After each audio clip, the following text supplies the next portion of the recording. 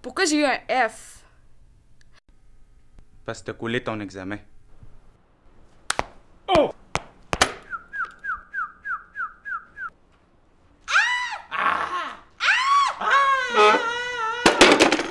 Ah!